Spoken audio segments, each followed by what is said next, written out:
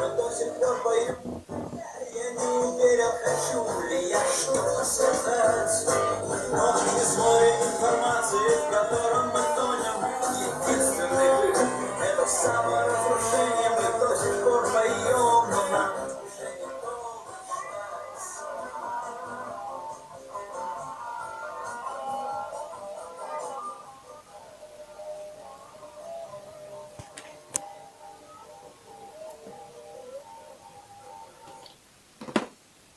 Здравствуйте, товарищи, господа. Итак, вот у меня сейчас презентация нового прибора. Выключил я звучок, чтобы включить на усилителе, продемонстрировать. Ну, вот сейчас добавлю вот этот прибор, который называется, долго я ему не мог адекватное название подобрать, который называется фрактализатор для устройств аудио, ну, фрактализатор сетевого питания, если так дотошно сказать. То есть вот это устройство стоит, значит, запитывается от сети, то есть на усилок идет сигнал.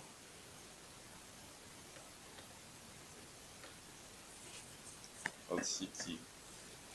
Это питающий провод усилителя, ну,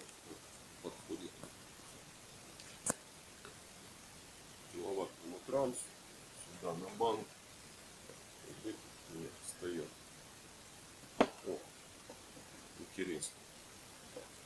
И тут у меня стоят, значит, выпрямители, все остальное, чем я запускаю усилие.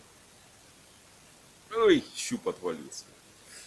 И задача, значит, задача этого устройства ну, оно не является в чистом виде фильтром сетевого питания, оно является гораздо более многофункциональным устройством. Выполняет функции фильтрации входного питания от сетевых помех и облегчает наброс нагрузки на трансформатор. То есть, когда идет у нас бас, резкая динамика, бывает, что не хватает ни конденсаторов, ни реактивной мощности трансформатора, которая накапливается энергией для того, чтобы гладко сработать с усилком.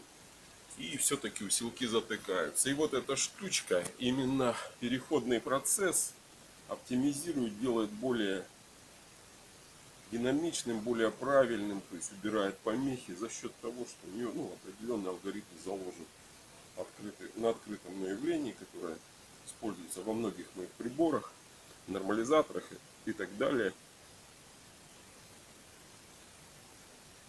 Оно используется вот здесь. Штучка стоимостью каких-то 26 тысяч рублей всего. Но она делает то, что не делают ни шикарные сетевые кабеля дорогие, ни шикарные разъемы. То есть она делает именно полезную работу, которая в денежном эквиваленте, ну как, тысячи на две с половиной, на три долларов потянет. Что по нынешнему курсу, сами понимаете, какая разница. Причем это значит, вот конкретно этот экземпляр рассчитан примерно на усилки до 400 ватт мощности, ну, то есть по 200 ватт на канал. Ну, рассчитывался изначально то есть 500 ватт, наверное. Ну, по испытаниям чуть-чуть, она до 500 ватт не дотянула, 450. Хотя и на 500 ваттных, конечно, есть плюс.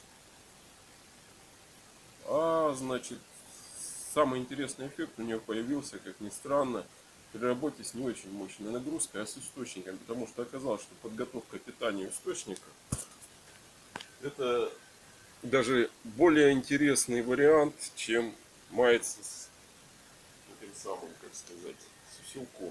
То есть она прекрасно зарекомендовала себя и в источнике, и в усилке. Я, честно говоря, поскольку у меня она сейчас одна, не знал, куда ее поставить. Ну, как бы на виниле она просто играет изумительно все-таки она стоит у меня в усилке, потому что как бы общий выигрыш в усилке более значительный, чем на этой самой, как сказать. Так, рубану. Я вот кручу. Со своего канала взял звук, чтобы не выставляли мне претензий.